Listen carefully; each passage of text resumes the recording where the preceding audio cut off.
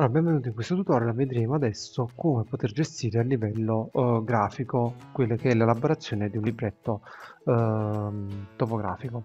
Uh, abbiamo elaborato il nostro rilievo GPS e come vedete appunto a livello grafico abbiamo questa rappresentazione con un punto topografico dove a cui all'interno vengono visualizzate appunto delle informazioni.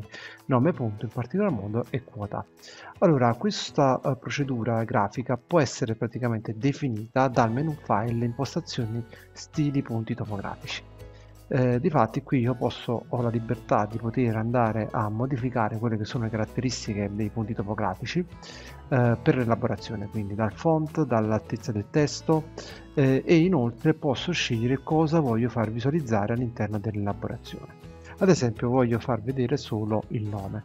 Uh, voglio cambiare anche la tipologia del, del, punto quindi andiamo a dare queste caratteristiche voglio cambiare anche il colore Uh, oltre a poter poi inserire quelle che sono le varie informazioni degli offset del testo dal punto topografico.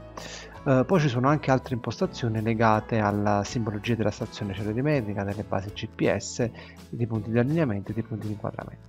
Clicchiamo su conferma e procediamo a rielaborare il nostro libretto. Quindi andiamo a definire il nostro sistema di riferimento, elabora il libretto corrente, qui ovviamente vado ad eliminare tutto quello che era già presente in grafica e eh, mi vado a rielaborare il mio lavoro e vedete qui è cambiato a livello caratteristiche quelle che è la grafica e la segmentazione. Del, del, punto topografico. Ovviamente c'è anche la possibilità di poter fare delle modifiche anche dopo l'elaborazione, non è che sono costretto a rielaborare ogni volta il libretto e di fatti adesso se io vado a selezionare ad esempio una parte di questi punti avrò praticamente la possibilità di avere un'anteprima delle proprietà comuni dei punti topografici dove io posso indicare ad esempio innanzitutto la possibilità di inserire nome più descrizione o, oppure andare a definire nome quota descrizione. Cioè e inoltre posso scegliere di eh, andare a definire quelle che sono le varie informazioni del font o simbologia comune.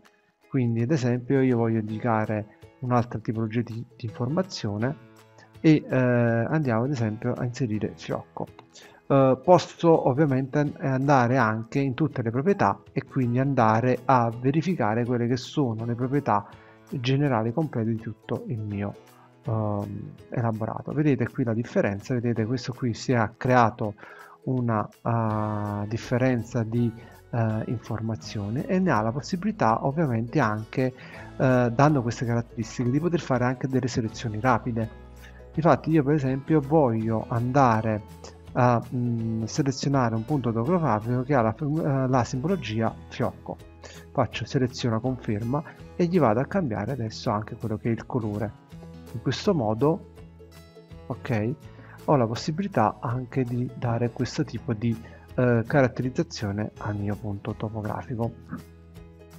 Ovviamente essendo tutta una parte eh, che eh, viene gestita appunto dal livello di planimetria eh, io posso andare a integrare quelle che sono le elaborazioni legate al, alla, al disegno oh, vettoriale quindi linea polilinea cerchio alla sinistra abbiamo quindi quelle che sono anche le informazioni legate allo snap da poter utilizzare, quindi intersezione, vertice linea, eh, snap sul punto topografico. Ad esempio se io devo andare a creare anche un layer specifico e dire per esempio um, raccordo ok e vado a dare un determinato colore quindi vado ad attivare quello che è lo snap sul layer la selezione sul layer quindi vado a fare polilinea io posso andarmi vedete lo snap si attiva in automatico mi permette quindi di andare a creare queste informazioni in grafica in modo da poter eh, andare ad agganciare automaticamente su ogni singolo punto topografico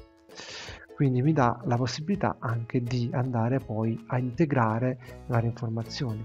Dal menu topografia ovviamente c'è la possibilità di estrapolare altre informazioni anche da entità CAD eh, oppure c'è la possibilità avendo dei punti topografici le funzioni punti coco che mi permette di poter andare a, um, a, a calcolare altri punti. Ad esempio vogliamo andare a creare un punto per prolungamento o un punto medio tra questi due punti, possiamo e procediamo in questo modo.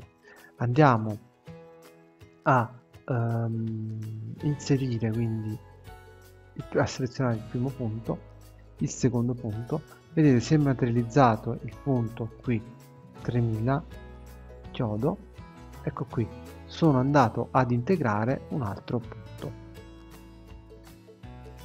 Questi punti sono punti calcolati in grafica dove hanno tutte le coordinate sia eh, cartesiane che geografiche, ben calcolate perché abbiamo definito quello che è un sistema di eh, riferimento.